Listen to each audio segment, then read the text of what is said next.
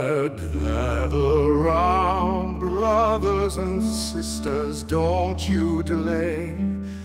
The Christ Apostolic Church census is on its way from April to May.